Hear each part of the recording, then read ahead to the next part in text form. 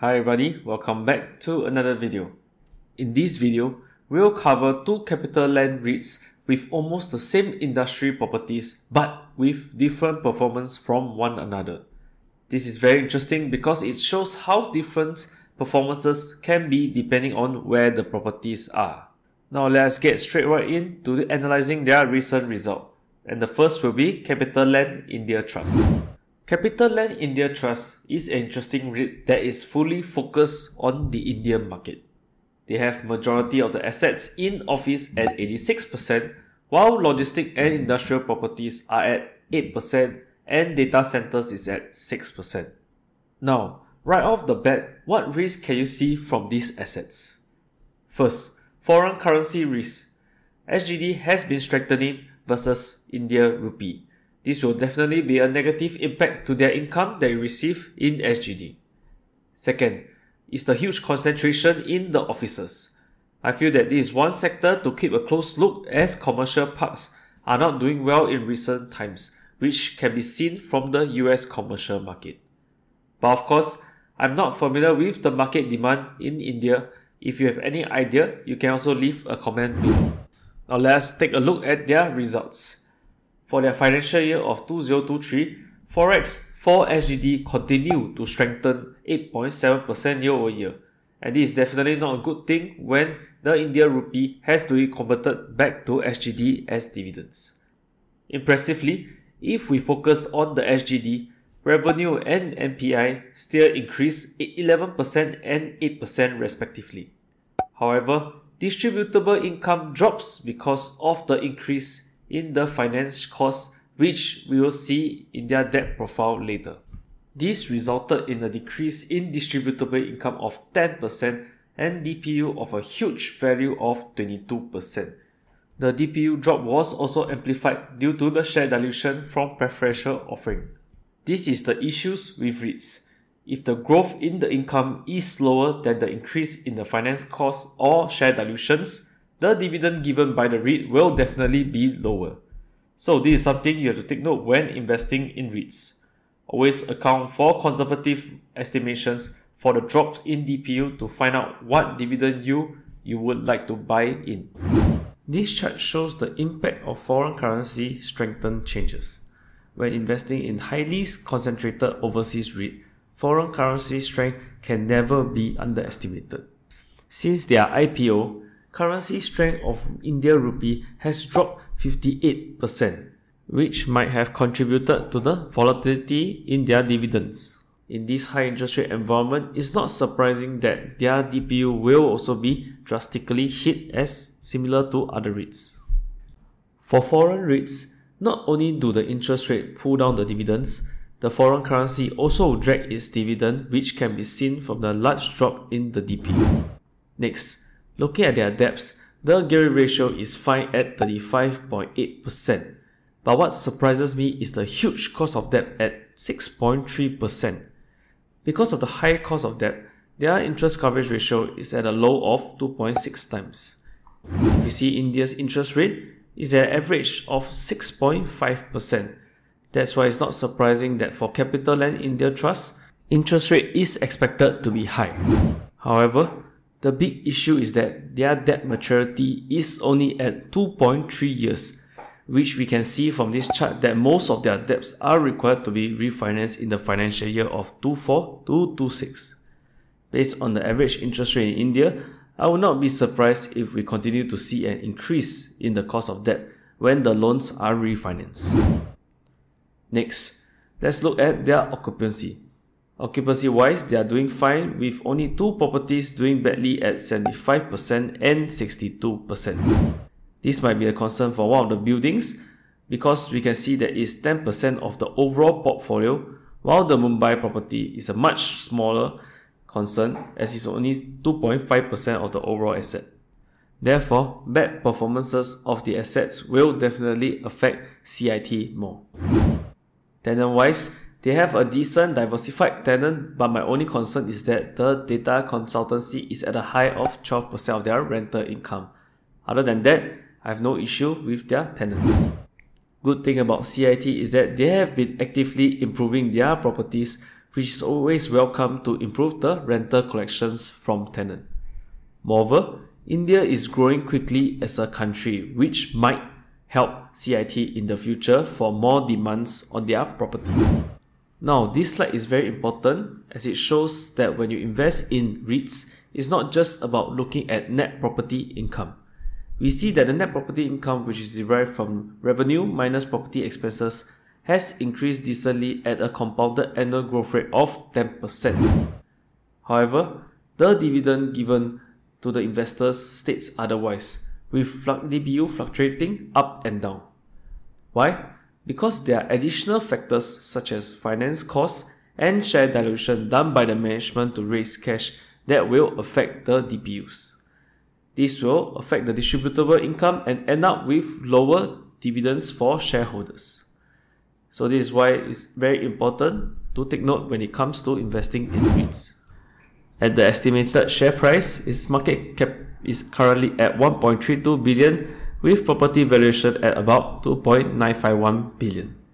With semi-annual dividend given is at a dividend yield of 6.8%. If you enjoyed this video so far, please support the channel by hitting the like, subscribe and comment on what you feel about the REITs share prices so far. Thank you and let's continue with the video. Let's go on to the next CapitaLand REIT, which is CapitaLand Integrated Commercial Trust.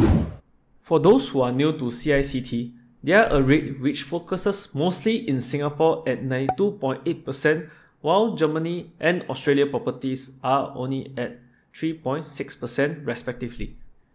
They are mostly retail, offices, and hotels properties.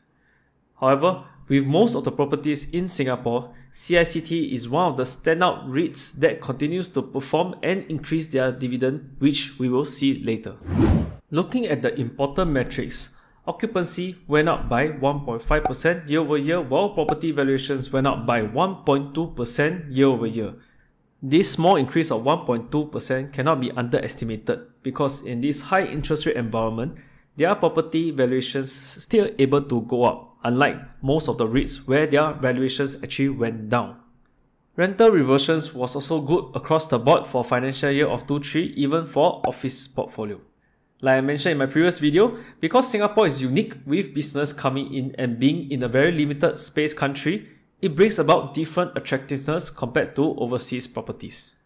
Retail side is also doing well as expected with tenant sales and shopper traffic up year over year at 1.8% and 8.6% respectively. It's quite interesting because this slide shows again how important it is for REITs to have Singapore properties. Singapore properties valuation went up by 2% while Germany and Australia properties went down by 10%. Fortunately, because most of their properties is in Singapore, the overall comes in to be an increment of 1.2%. If we look at their revenue and net property income, it's impressive with increase across the board. This resulted in 8.2% higher in revenue and 7% in higher net property income. This slides again emphasizes how good CICT performances is, with year-over-year dividend increasing from 10.58 cents to 10.75 cents. So what this means is that the increase in the net property income is faster than the increase in their cost of debt expenses. This is good as it shows how good the management is in managing the finance in this high interest rate environment. Looking at their debts, the leverage ratio is on the higher side at 39.9%, while cost of debt is at 3.4%. The interest coverage ratio is resulted at 3.1 times. Now, although their leverage ratio is high, it's fine because of two reasons. One, CICT is a big REIT, so 10% gap in the leverage ratio is a much larger value as compared to those smaller REITs. Second, they also have a very solid investment rating from financial institutes, which backs them to be solid financially. Lenders will also be more willing to lend them money because of these good investment ratings. However, debt maturity profile wise, there is quite a decent number of debts that needs to be refinanced. If you see for the next few years, there are lots of debts that needs to be refinanced. So one way to estimate what is the interest rate they might renew to, is to look at their recent term loans taken. Based on the full year financial statement, they have issued notes at 3.938% on the latest notes. This meant that there's a chance that once they renew the loans, their average cost of debt of 3.4% might still continue to go up. So we have to observe this closely for the next few quarters. So if we see their Q1 results, they have actually renewed 300 million of the medium-term loans in 2024. Their cost of debt, because of this, have went up by 0.1% to 3.5%. But if their properties can continue to do well, with profits increasing faster than the increase in the finance costs, then their dividends will be expected to continue to go up. Looking at their occupancy, overall occupancy is at 97.3%, which is high for retail and office properties. The interesting part is that the retail side has an average lease of 2 years. This might benefit CICT because Singapore retail properties are doing well. So rental reversions might come in higher once the tenants renew. CICT has well spread tenant with only RC hotels at 5.1% of the total group income. This is decent as the collapse of any major tenants will not have a huge impact on their overall income. At the current share price, its market cap is at 13.2 billion with property valuations of 24.5 billion. With semi-annual dividends given, it's at a dividend yield of about 5.2%. Even though they are a good read, at this high interest rate environment, the current dividend yield might not look that attractive. But if they continue to do well, there might be potential gains in both the dividends and the capital gains. Thank you so much for watching. I hope that this video brings about good insights for you when it comes to investing in either of these CapitaLand REIT. Although both REITs have a very strong sponsor, properties in different countries will definitely have difference in performance as well.